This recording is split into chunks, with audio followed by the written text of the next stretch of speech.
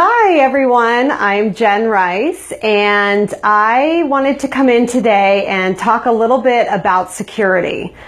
And security is something that's come up for me. Um, the reason I even thought about this topic was a good friend of mine and I were talking because she's recently going to change her full-time employment, which she considers to be very secure, and she's actually stepping into a um, a job that is a little bit different. It's kind of a startup in medicine, but she's she's really excited about the challenge that it'll be. But at the same time, um, we were talking about how we get really drawn into security, and so that made me think, well like what is what is security and how do we really view this? So basically the reality of security is two things. It's twofold. So you can feel secure and actually not really be secure. And then you can be secure and actually be safe but you actually don't feel like you are.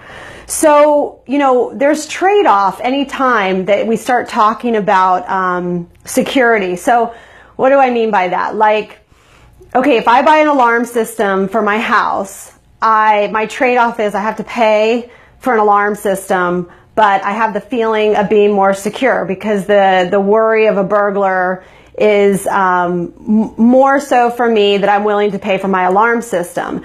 Same with like um, my friend who's changing her profession, like the reward for her to potentially change and be able to work um, in a different capacity, that possibility is is the trade off that it may or may not work out, right? So um, I want to say most of the time, you know, a lot of us make trade offs, you know, every day. So I have some friends that are a little bit fearful of flying. I will not call you out, but fearful of flying. So some people think that if they drive, they will, um, it's safer. They feel more secure or more in control because they're the one driving. But we all know um, every statistic will say that you're much safer in a plane than you are driving. But it's that feeling of security, right?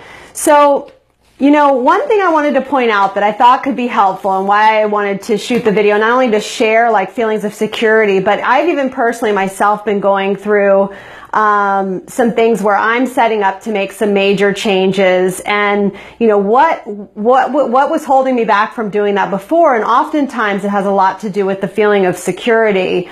Um, so feeling happens when we don't notice Okay, so that's how you feel. When you're not really noticing, you just feel something. But when you actually take notice, two things happen that can really help you with this whole security concept. Um, we can have positive uh, or negative examples that actually draw us to a conclusion. So we can like logically, so if we're not just worried about feeling secure, we actually look at the plan ahead and we, we list the positive and negatives of things that can actually happen or conclusions, we'll be able to find um, the best outcome for ourselves. And the second thing is um, there won't be a bunch of emotion clouding the issue. So you know, I think sometimes for, for different people, security can mean different things and these feelings come up. And when you're wanting to try something new or step into something different, um, a lot of people worry about this sense of security.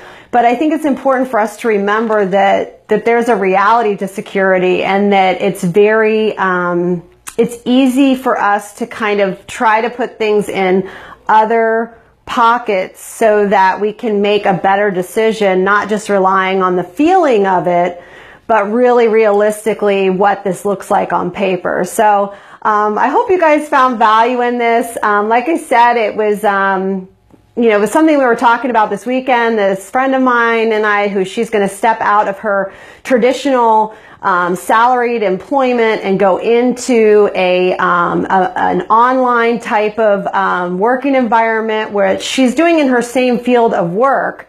Um, but it is a, a different situation and something new and a little bit unknown. And I just encourage everyone to kind of think through rather than feel through some things. I tend to act a lot on feelings in general. I know a lot of us do, but oftentimes if you can kind of think through things, you'll find that most things that we think are secure for us are really not a secure um, point. Okay, so I go, hope you guys have a great day. If you like my content, please hit subscribe anytime I go live. And um, thanks again for watching.